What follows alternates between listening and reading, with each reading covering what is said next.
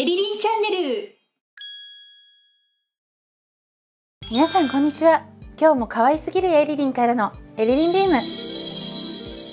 ねそちらさんちょっと最近スルースキルっていうのが高まってるんですよねということでですね最近よく巷で美容施術に対して金ドブっていう言葉を皆さんも聞いたことがあるんではないかと思うんですけれども金ドブっていうのは確かに、まあ、詐欺じゃないのっていうような金ドブ治療もあります。もしくは昔はそういうの結構ありました。だけど皆さんの解釈の仕方とか理解が間違っているから金ドブと結局思ってしまう。まうことになったっていう場合もあると思うんですよね。なので私はその理解を正しく認識すれば金ドブと思わないで済んだんじゃないのかなと思うことが多々あるので今日はですねよく SNS で見かける金ドブ治療3選美容点滴トーニング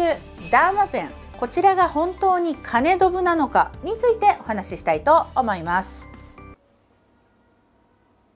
あ、私が言うのね。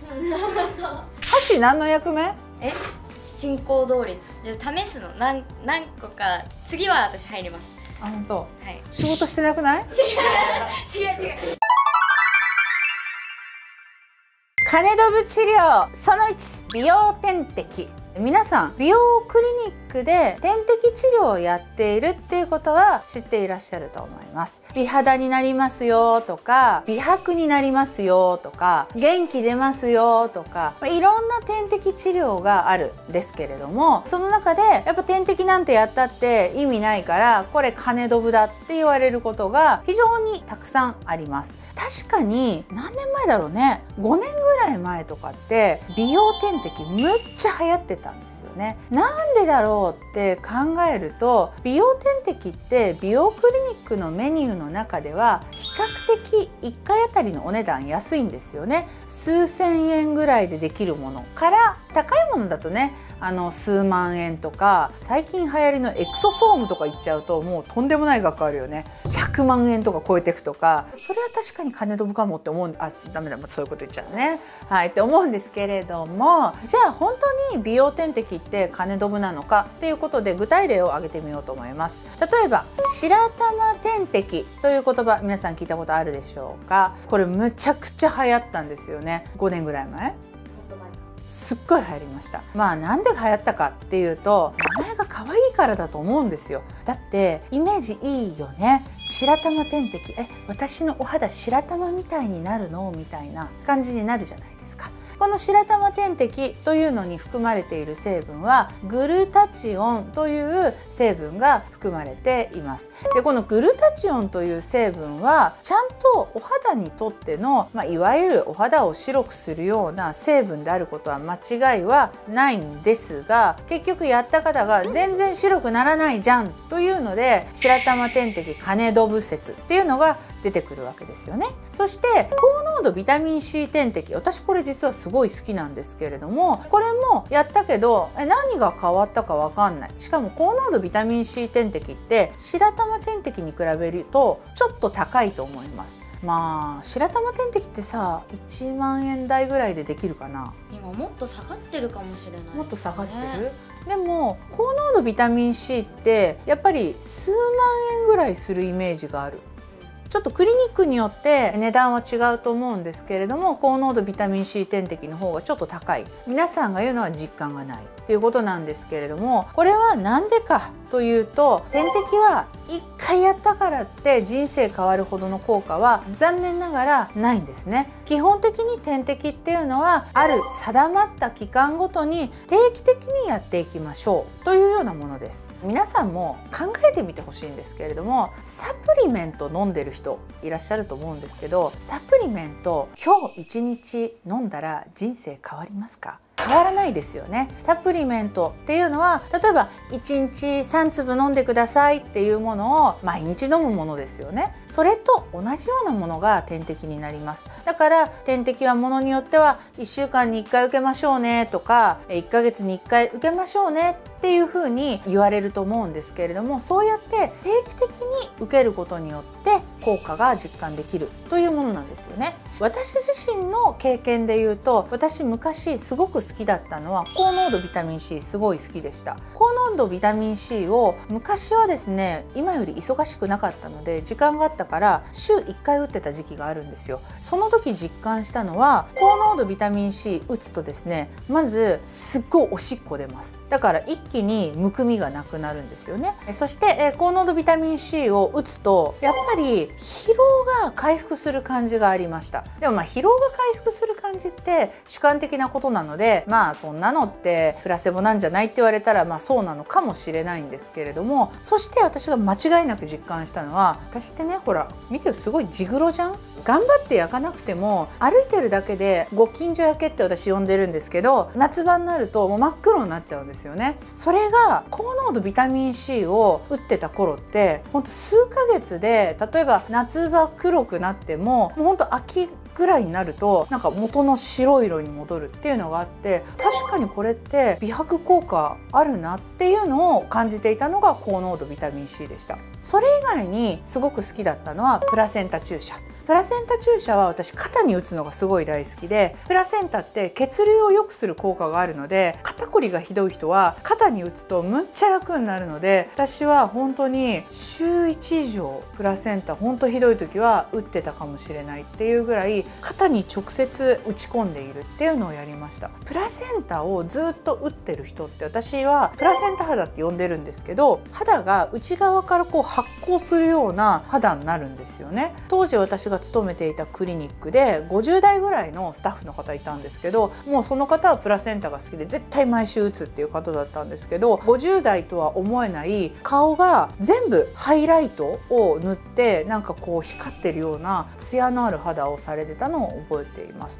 なので私自身は昔高濃度ビタミン C とプラセンタをずっと続けていた時はすごく好きだったし効果は実感していました。ただ1回でどうのこうのっていうよりはやっぱり続続けることに意味があるなと当時思っていたので点滴金ドブっていう風に言ってる人の中で1回で白玉点滴やったけど肌白くならなかったとか1回で高濃度ビタミン C の効果実感できなかったっていう方はちょっとご認識が間違ってたよっていう風に思っていただけたらいいなと思います。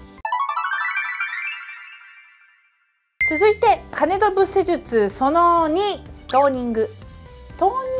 というのは何かというところなんですけれども一般的にはですけれども QスイッチYAGレーザーを用いた顔全体の美白もしくはシミ取りのレーザーのことをトーニングということが多いのかなと思います。ただトーニングっていうのはトーンアップとかっていうようにトーンアップのトーンなので、まあ、別に Qスイッチヤグレーザーじゃなくたって全顔にレーザーを当てて肌のトーンアップをするシミを取っていこうっていう治療ということなので別に Qスイッチヤグレーザーに限らなくてもいいんじゃないのかなとは思います。そしてピコレーザーを使ってるものはピコトーニングって言ったりするんですけれどもこれもピコレーザーを使って顔全体にレーザーを当てて顔全体のトーンアップを図るシミを取りましょう。というような治療。これを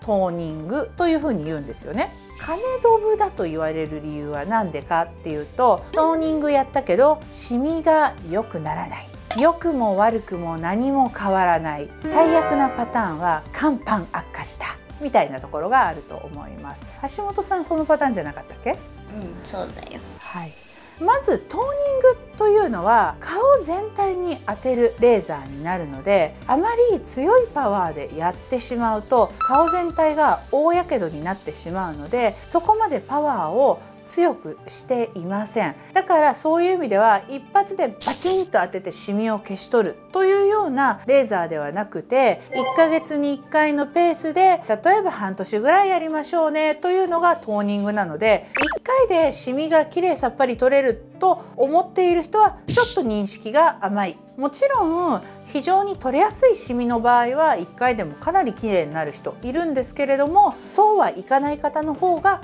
多いのでそこを理解してほしいと思います。そして肝斑の方。肝斑は生きてるだけで悪化する。触るだけで悪化する。もう皆さんそれを覚えてほしいと思います。ですからトーニングというのは肝斑に効くよみたいなことを言われているんですけれども残念ながらレーザーの刺激で悪化してしまう方もいるのでトーニングをして肝斑良くしたかったのに逆に肝斑が悪化してしまったと。いうような方もいらっしゃるので残念ながら肝斑が良くならないどころか悪化する。だからトーニング意味なかったということもあります。そしてレーザーっていうのはですねパルス幅そして波長そしてピークパワーこういったものによってですね全てレーザーの効き方というのは違います。ですからトーニングと言われているものをやれば全部どこの機械でも同じというわけではないです。あなたの顔に合った波長パルス幅ピークパワーというのは全員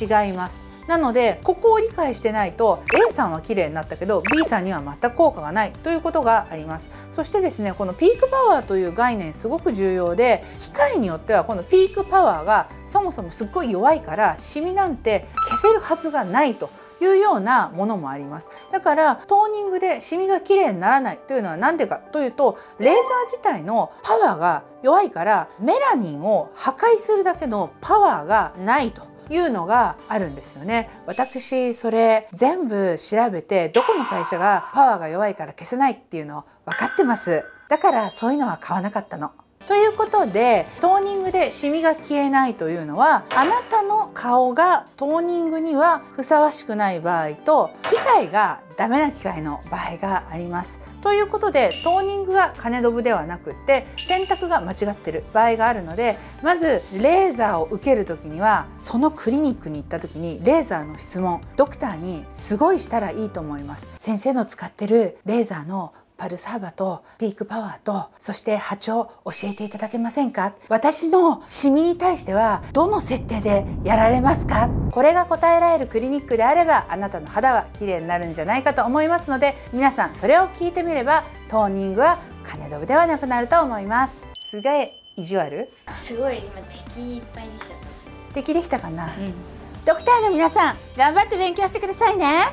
そしてですねトーニングは先ほど言ったようにちょっとマイルドな設定になっているのでもしですね一発でズバッとこうシミを薄くしたい場合は全顔タイプのものでしたら IPL フォトフェイシャルと呼ばれるもの。ザワンだとルメッカという機械があるんですけれどもこれの方が効果実感が1回であります。そしてトーニングではなくてもうこのシミ気になるからこのシミだけをターゲットにちょっとかさぶたとかできるけど強いパワーでバチンって打っていくと1回で薄くなるということもありますので全体にやるトーニング以外の選択肢というのもありますので皆さんそういった機会を全部揃えているところだとあなたのお肌にベストな治療が選べると思いますよ。トーニングしかなくてパルス幅も波長もピークパワーも分かってないクリニックには行かないのがいいと思います。金ドブ施術その3ダーマペン。流行ったよね。これもどれぐらいだろう？5年前ぐらい？すね。45年前か。うん、むっちゃ流行ったよね。ダーマペンというのはどういう治療かというと肌の表面にこうなんかこうコロコロみたいな機械を転がすんですけれどもその先端にですね細かな針がついていますだからこうコロコロってこうやるとその針が顔にこう刺さっていくんですよねたくさん顔に針で穴を開けるということをしますそれによってその傷が治る時に肌が新しく再生しますよとかあとは肌に穴が開いた時に薬剤を入れればただ塗るよりも中に効果的に薬剤が入りますよというような治療なんですよね。ラーマペンが金ドブだと言われる理由は広告が古代表現だったからなんじゃないのかなと思うんですよね。ダーマペンはそうやって使うことによって効果歌われているのがまあ2つぐらいあって1つはリジュビネーション効果。お肌の張りが出ますよっていうことですね。2つ目はニキビ跡毛穴。これが目立たなくなりますよというような効果だったと思います。これがですね皆さんが金ドブと言われるようになってしまった理由は何でか。というとですねこの治療やると針で穴を開けるので一時的に顔が微妙に腫れるんですよね。顔が腫れると肌ってパンと張りが出た感じに見えるしあとは毛穴とかニキビ跡も腫れによってこうなんかこう潰されて目立たなくなったような気がするんですよ。それが施術後2週間ぐらいなんですよね。やった当日とかは針の穴の跡があったりとか明らかに腫れっぽい感じなのでで腫れだよねとか思うんですけれども2週間ぐらいするとちょうど収まりかけてきていい感じになる時があるんですよ。だからあその2週間後あすごい綺麗になったと皆さん思うんですけれどもそれはやっぱり腫れの名残なのでどうしても1ヶ月ぐらい経ってくるとおやおやあんまり変わってないんじゃないのかなというような感じになると。もう1回受けるとまた2週間後ぐらいはいい感じなんだけど1ヶ月経つとおやおやっていうような感じで2週間後ぐらいのいい感じの時がずっと続いていけばいいんですけれども結局腫れによってそれが効果があると思えてる時期が過ぎちゃうと効果なかったんじゃないっていうような感じになってしまうといういうことで金ドブと思われることが多いんじゃないのかなと思うんですよね。ダーマペンとかでの治療というのはやっぱり繰り返すことが必要になるのでやっぱり1回で2週間後いい感じになったお肌は完成形のお肌ではなくてそれは腫れ込みのお肌なのでそれは理解していただいてダーマペンは繰り返す治療なんですよということをご理解いただく必要が本当はあったんじゃないのかなと思うんですよね。ダーマペンはですねダーマペンのこのくるくるする機械が非常に安いのでお値段も安かったから割と皆さん飛びつきやすかった値段だと思うんですよね。ただお肌が本当に改善するためには10回20回っていう回数をやらなくちゃいけないのでじゃあ1回の値段がたとえ1万円でも20回やったら20万円になっちゃうから20万円も払ったのにこのぐらいかみたいな形になる方が増えてきて一時すっごい流行ったんですけれども最近人気が落ちてきたのはそういうところなんじゃないのかなと思っております。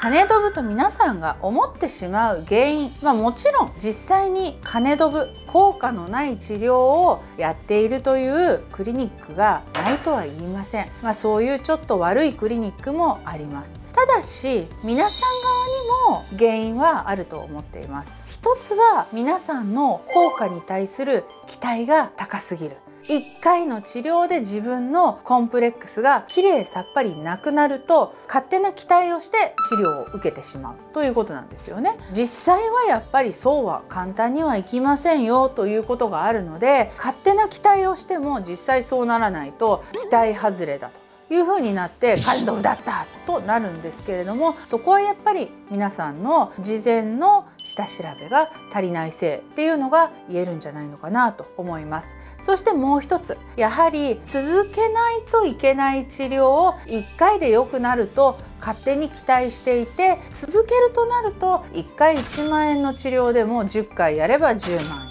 20回やれば20万円になっていく。そんなに安くないですよね。そこを考えていなかったために金ドブというふうになってしまう。ということが挙げられると思います。ですから治療を受ける時にはその効果というのがどれぐらいのもので何回ぐらいの治療が必要なのか。そしてその回数をこなした時にトータルで必要なお金というのはどれぐらいかかるのかということを事前にしっかり調べていただくと金ドブだった。というふうにはならないと思いますので皆さん側もしっかり勉強して治療を受けてください。それではさようなら。